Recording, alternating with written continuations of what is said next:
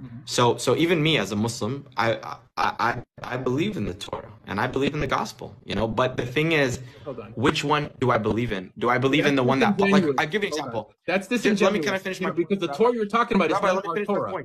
Okay.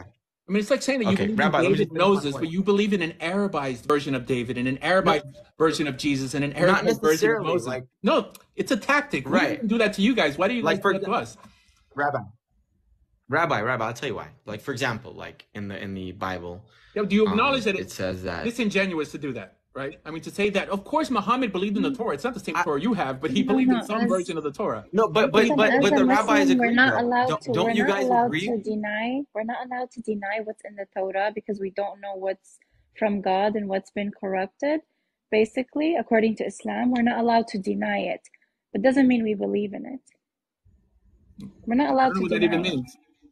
Like mean, we're not allowed. Like if you tell me a story out of the Torah, I'm not allowed Mm-hmm. to tell you that's a lie because I don't know if it's a lie or if it's not. All right. And my point stands. Um, unless- convenience, unless- it's very convenient un- to do that to justify a new Asher. religion. No, but Unless Asher, unless contradicts- un, unless it would, so, so for us, uh, unless it were to contradict the Quran,